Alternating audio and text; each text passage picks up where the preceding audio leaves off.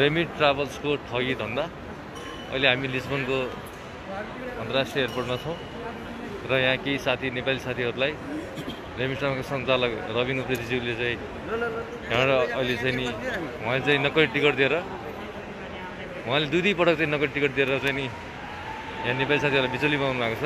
तपाईँले यहाँ हेर्न सक्नुहुन्छ। यहाँ अहिले हामीसँग हुनुहुन्छ सोम शेर्पाज्यू। छ नेपाली सङ्घ समान्तुर एनआरएन पोर्चुगलका अध्यक्ष हुनुहुन्छ। यहाँको बारेमा केही भनिदिनु न है। हजुर हजुर नमस्कार नमस्कार। हामी चाहिँ बिहान हाम्रो आज चार पाँचजनाको नेपाल फ्लाइट रहेछ। दुईजनाको हिजो रहेछ। हिजो चाहिँ फ्लाइट नै क्यान्सल भयो भनेर उहाँले भन्नुभएको छ। अनि फर्किनु भयो। अनि आज चाहिँ चाहिँ तिनजनाको आज रहेछ फ्लाइट बिहान। एघार बजीको फ्लाइट रहेछ। उहाँहरू एयरपोर्टमा आउनुभयो टिकट सिकट छैन होइन? टिकट नभइसकेपछि उहाँहरू बिचरा एयरपोर्टबाट हाँसेर चाहिँ फोन फोन गर्नुभयो अनि हामी चाहिँ हामी साथीहरू आएर उहाँले लिएर चाहिँ हामी चाहिँ ल तुरन्त लिएर आउनु माटुमरिसमा चाहिँ माटुमा लिएर आउनुभयो ट्राभलमा। हामी गयौँ। उहाँले के भन्यो टेक्निकल मिस्टेक भयो। हामीले मैले अर्को नयाँ टिकट काटिसकेपछि दुई बजी भन्नुभयो त्यसपछि ल हिँड्नुहोस् एयरपोर्ट तपाईँ सँगसँगै हिँड्नुहोस् एयरपोर्ट ठाउँ उहाँले उडारमा तपाईँ छोड्छु चाहिँ उहाँ भर्खर यहाँ हामी सँगसँगै यहाँ हामी लिएर आयौँ।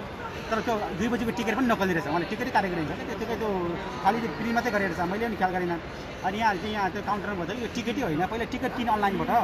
होइन टिकट किन अनि मात्रै हुन्छ यो टिकट होइन भनेर चाहिँ उहाँले भनिराख्नु भएको छ। किनभने उहाँले चाहिँ यहाँ अलिकति यहाँ फेरि पनि नेपाली समाजमा जुन जुन यो भन्नुभयो केही केही- वर्ष अगाडि जुन एउटा विगतजना कुवाले जुन ट्राभलबाट जुन सयौँलाई ठगिएको थियो होइन नक्कली टिकट काण्डले फेरि अहिले पनि त्यही चाहिँ घुरिराखेको छ यहाँ।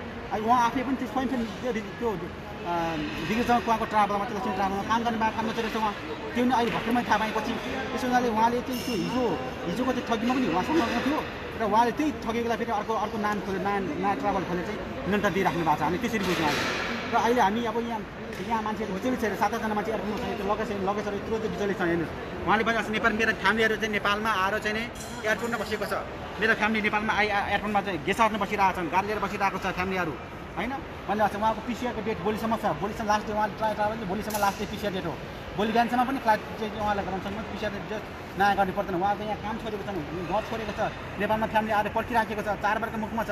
यसरी नेपालीलाई तपाईँको नेपाली ट्राभल जस्तो एकदमै सेन्सिटिभ कुरामा यसरी किन नेपालीलाई तपाईँ चाहिँ उहाँले चाहिँ यसरी ठगी गर्नु किन दुःख दुःख दिनुहुन्छ उहाँले होइन? नेपालीसँग सम्बन्धित व्यवसायहरू खालि चाहिँ नेपाली ठगी गर्ने काम चाहिँ भानम बाहिर भइरहेको छ। यस्तो कामले यहाँ चाहिँ एउटा आम व्यवसाय गर्ने मान्छेलाई पनि गाह्रो भइरहेको छ नेपालीले नेपालीले विश्वास गर्ने वातावरण यो चाहिँ सकिसक्यो अहिले।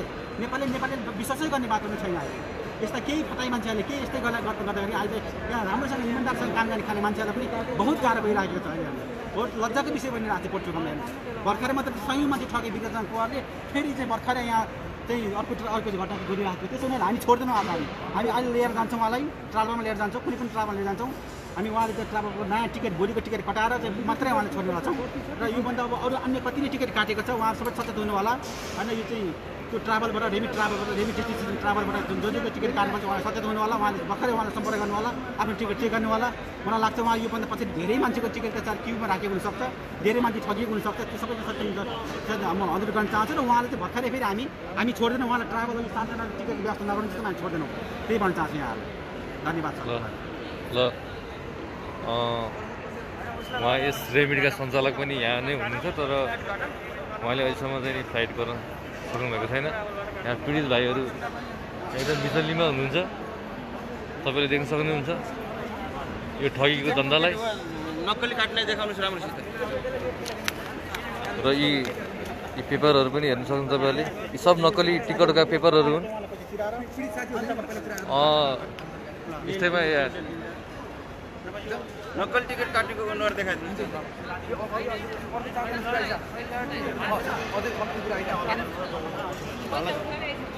ल ल ल यसलाई ल तपाईँ अब यो तपाईँको बिनुको गाडीमा कति सामान आउँछ तपाईँको अब यो सामान त पुरै जाँदैन अब ट्याक्सीमा जानु पऱ्यो नि है अँ।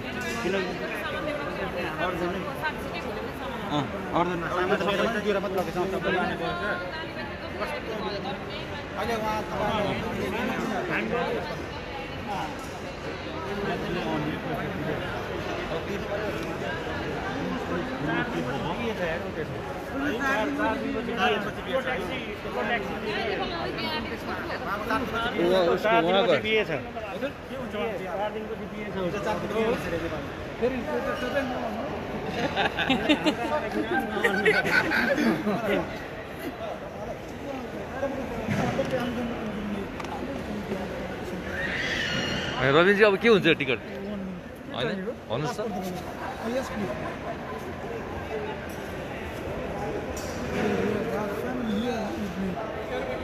त छ मेरो प्रवीण दाल नेपालीमा छ है।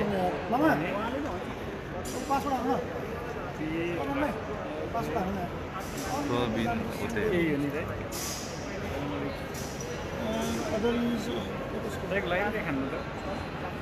यसैबाट होइन लाइक हजुर होइन यसमा पेजमा छैन मेरो हाम्रो ग्रुप छ एउटा।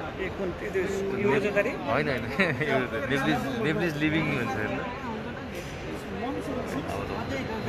एनइपिए होइन सोसाइटी लिभिङ नाम धेरै उठ्छ स्पेस दिनु एलइएससी सिम्पली हाल्नुहोस्। एनपिए एलइएससी हाल्नु यदि नेप्लिज स्पेस दिनु हो यो चाहिँ हो भर्खर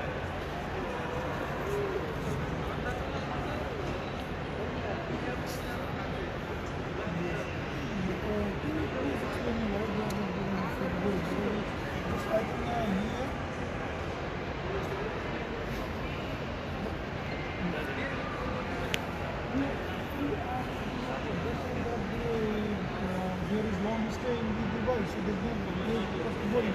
They arrive in 30, we get one. It just on the not over दुईजना कति